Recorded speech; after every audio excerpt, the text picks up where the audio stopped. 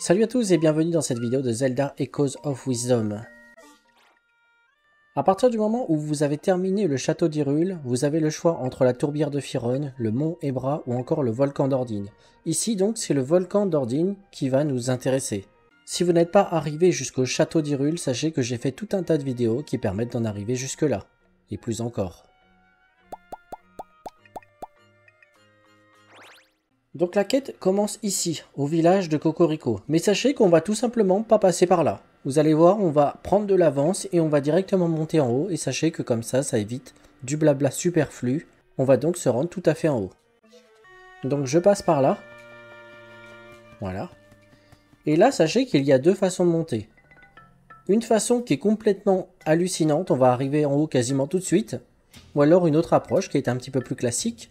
Donc dans un premier temps, on va voir l'approche plus classique, normale de faire les choses, et après je vous montrerai une approche qui permet d'aller carrément tout en haut d'un coup, mais attention, il y aura tout de même un petit prérequis. Voilà pourquoi on verra deux approches distinctes. Donc déjà, je me rends à gauche. Ici, nous avons des ennemis. Si c'est un écho que vous n'avez pas, vous pouvez le tuer. Moi, c'est déjà fait. Là, on passe par cette grotte. Ici, vous prenez les échos que vous préférez pour tuer les ennemis. Moi, celui-ci, je l'adore. D'ailleurs, j'ai fait une vidéo sur comment obtenir cet écho-là. A noter que tous ces ennemis sont également des échos et que leurs nids aussi sont des échos.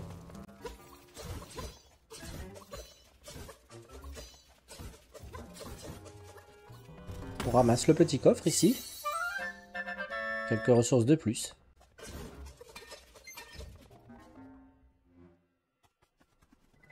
Alors là, vous allez voir que je vais me déplacer rapidement. C'est parce que sur moi, j'ai ceci.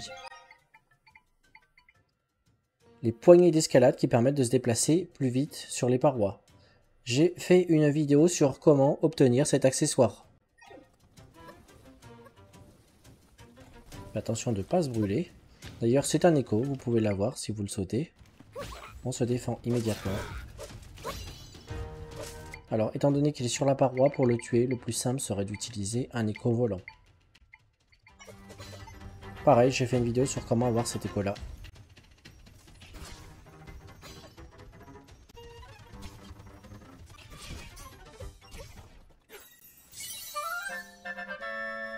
Voilà, l'écho du feu visqueux. Alors, vous pouvez totalement l'éviter, c'est juste récupérer pour la forme.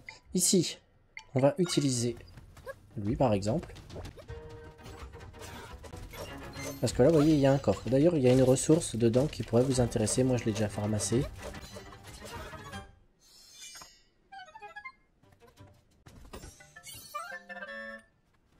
Pensez à bien activer ce point de téléportation. Moi, c'est déjà fait. Là, on continue à monter.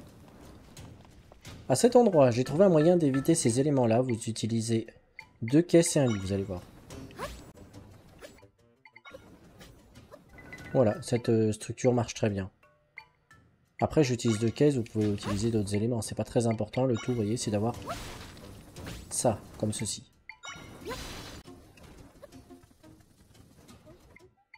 En soi, vous pouvez attendre. Hein. C'est juste que je suis pas patient. Attention à ce qui tombe du ciel.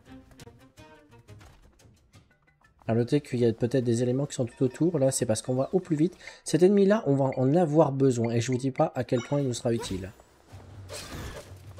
Voilà, je ramasse. Là, encore une fois, vous avez peut-être remarqué que je ne m'envole pas. Eh bien, c'est à cause de ceci. J'ai un écho en particulier. Celui-ci, le paréo doré.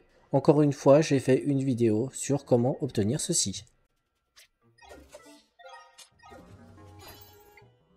Cet écho que l'on vient de vaincre et qu'on a récupéré, c'est lui. Le bah, je vous garantis qu'il est utile. Quand on le porte comme ça, vous voyez, on peut voler avec lui. Et c'est très pratique pour se déplacer comme vous pouvez le remarquer. Voilà, pourquoi pas. On s'en sert pour partir aussi.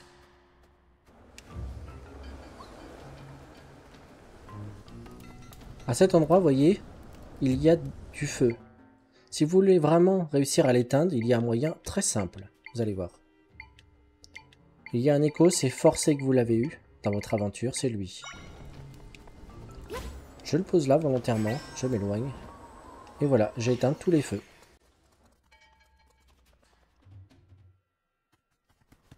Nous sommes à présent à l'extérieur, on continue à monter. Attention à la limace, voilà. Et voilà, nous sommes arrivés en haut. On peut à présent activer le point de téléportation.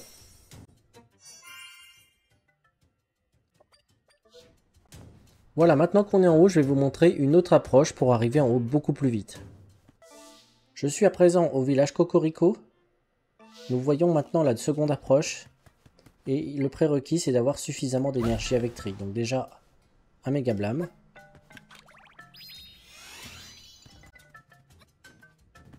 Là, on monte. D'ailleurs, vous voyez qu'il y a une entrée ici. Il sera possible d'y aller. C'est trop haut pour le coup. Bah ce n'est pas grave parce que vous voyez, on va utiliser un méga blâme de plus.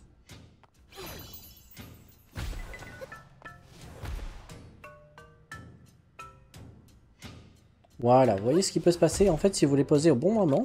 Les méga blâmes peuvent en fait se chevaucher et on va pouvoir continuer à monter comme ça. Vous voyez? Là, un coffre.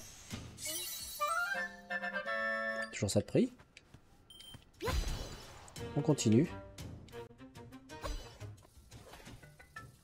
Et voilà, on est en haut. Une autre approche pour arriver tout à fait en haut.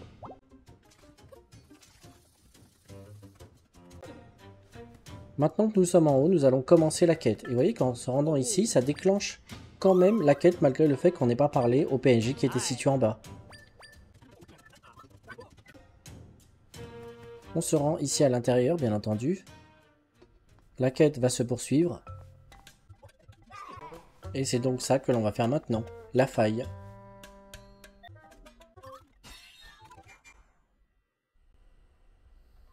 On va non pas aller sur la droite, ni même se rendre dans la statue tout de suite, mais d'abord aller vers la gauche. Là, on va utiliser le rafalou. On vise l'ennemi. Voilà et de 1.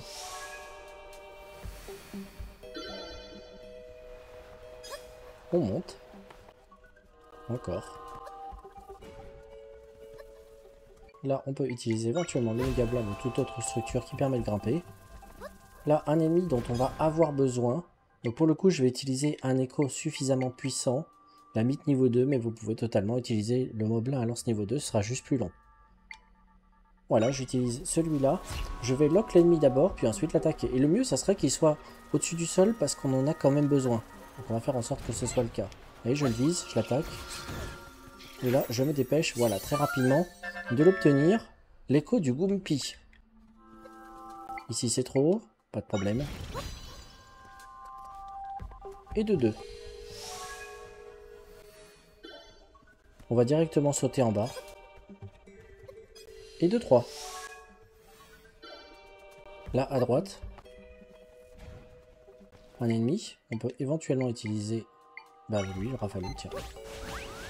Voilà, pour s'en débarrasser. Ici, cela semble un petit peu loin. On peut utiliser par exemple un lit. Et voilà, le tour est joué. Maintenant, on se rend dans la statue. Ici, si je vous ai dit de récupérer l'écho du Gompi, si je ne m'abuse, c'est pas pour rien, parce qu'on va en avoir beaucoup besoin. Voilà, lui. Là, il s'agit de casser des blocs. Et du coup, il va nous falloir beaucoup de bombes.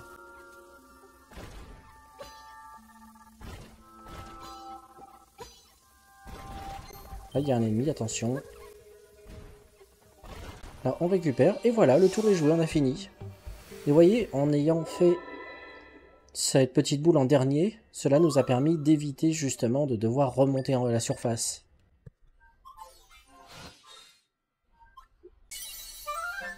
Donc on a augmenté le niveau de tri, on a également ramassé deux fragments de puissance.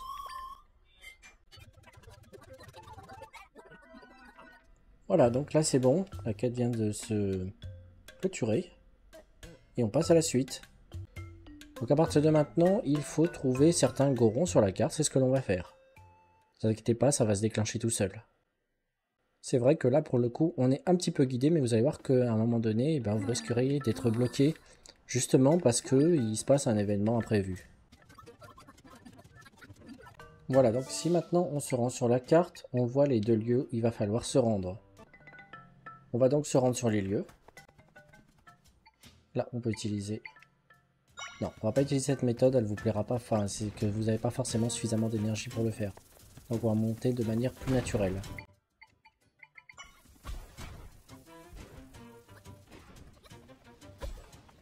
Alors vous voyez ce qui est intéressant ici, c'est que on peut trouver un fragment de cœur. Ici sur la carte, au niveau du volcan d'Ordine, à cet endroit là, se trouve tout à fait au bout, ici, un fragment de cœur. Quelques ennemis ici, on va les massacrer.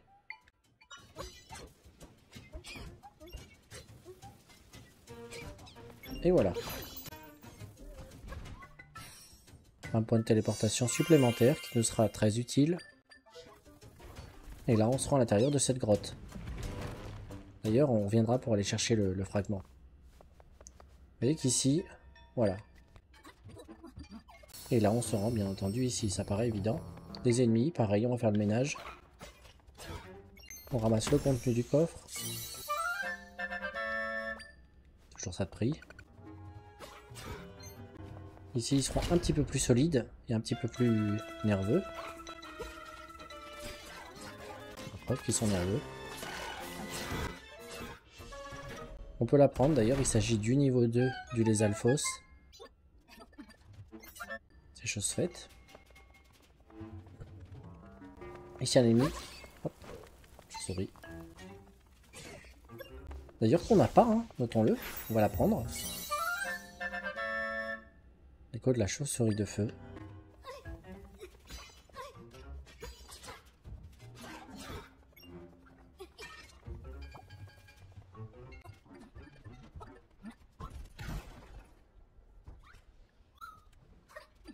Et enfin les suivants, il va falloir les tuer nous-mêmes.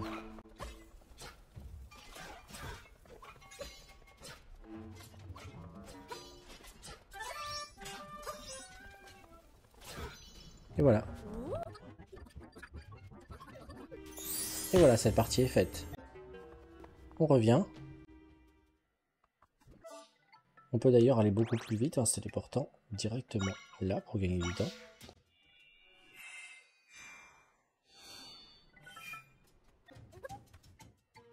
On peut éventuellement utiliser, voilà, Blâme à cause de la faille qui gêne. D'ailleurs, on peut aussi aller dans ces eaux-là. Sachez qu'elles sont régénératrices. Vous pouvez récupérer des cœurs grâce à elles.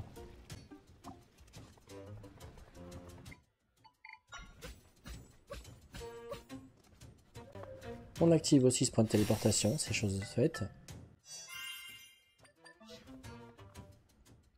Et voilà, la suite se trouve là. Ici, il va falloir un item en particulier, vous allez voir, c'est pas si simple. Vous allez voir. Donc déjà, on passe par là. On utilise voilà, nos échos pour euh, faire le ménage. On la prend au passage, c'est un nouvel écho. L'écho du mini-rock. Le Dark Knight niveau 3 par exemple. Très efficace ici. Et là voilà qu'on va apprendre à faire ça. Et du coup, on peut le faire. Mais le réflexe qu'on pourrait avoir ici, vous voyez, c'est celui-là. Ici, donc, vous pourriez utiliser ce nouvel écho qu'on vient d'apprendre, le gigot de caillasse. Voilà. Et là, déjà, il y a un résultat. Et en soi, à chaque fois que vous allez en poser un, vous allez avoir euh, une réaction. Et voilà, justement. Ils disent qu'ils en veulent un vrai. Bah oui, parce qu'il s'agit d'un écho, en fait. Donc là, c'est un peu comme à l'heure. Donc ce qu'il va falloir faire ici, c'est tout simple. Il va falloir aller en chercher un vrai. On en prend un, n'importe lequel. Et bien entendu, la suite, vous l'avez comprise.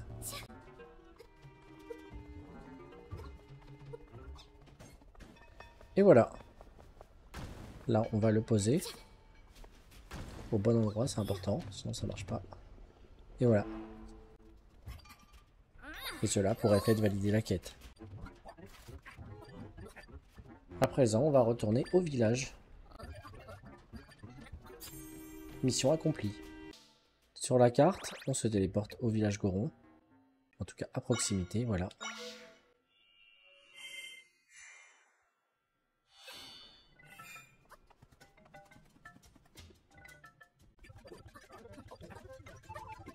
La suite est plutôt évidente.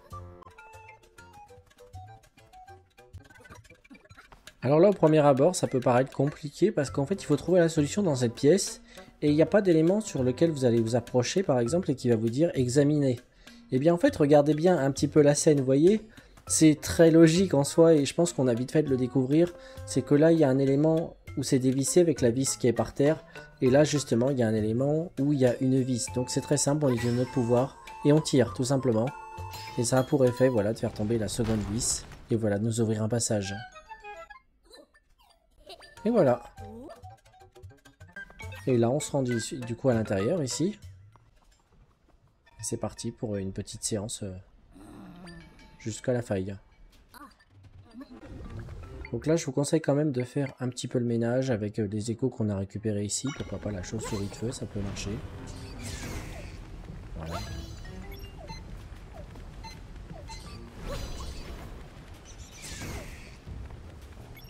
Une fois que les chauves-souris sont mortes, immédiatement on va utiliser le One Voilà, pour se déplacer.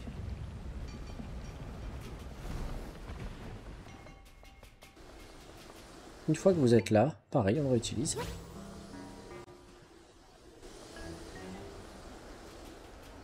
C'est vraiment très pratique. Là, à cet endroit, on va apprendre un nouvel écho, c'est celui-là.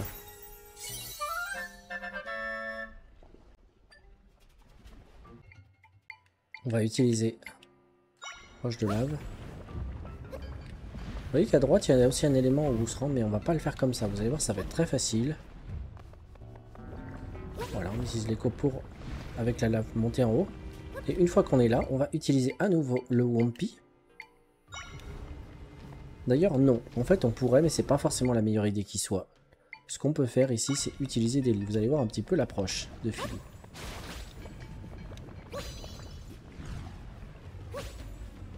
Et voilà. Et ici, on obtient... Pierre de monstre. Et là, on monte. On arrive là. On peut... Voilà. Alors, effectivement, il y a ça. Dans ce cas, on va utiliser ceci. Là, soit vous attendez puis vous sautez, soit vous pouvez utiliser un lien, plusieurs approches possibles. À cet endroit, c'est vrai que ça peut être handicapant pour vous si vous n'avez pas suffisamment de points. Mais normalement, vous devriez en avoir assez. Donc là, soit vous utilisez une roche de lave tout de suite. Mais le mieux, c'est d'utiliser d'abord un lit, comme ça. Et ensuite, vous sautez et vous appelez la roche de lave. De cette façon, voilà, vous montez.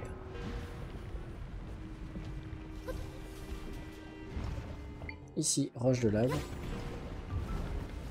Voilà, on peut même la réutiliser si on veut. Mais le problème étant, vous voyez, c'est que je l'ai pas mis. C'est moi. Ok, c'est exactement le même principe que juste avant. On peut utiliser un lit pour aller jusque là-bas. Après, là, il y a plusieurs alternatives possibles. On peut utiliser par exemple le méga ce sera peut-être même plus simple. Comme ça, on n'a pas besoin d'autant de points. On peut même directement aller là ce qui est plutôt cool en soi. Maintenant, on souhaite se rendre en face. Vous n'êtes pas obligé, vous pouvez directement utiliser une pierre pour aller tout à fait en haut. Mais ici, alors on peut déjà poser la roche, c'est pas, pas un problème. Mais on va d'abord se rendre tout à fait en face parce qu'il y a un coffre. Et ce coffre, on le veut. Parce qu'il y a 50 rubis à l'intérieur. On revient. On attend la chute de lave. On monte. Nous voici en haut.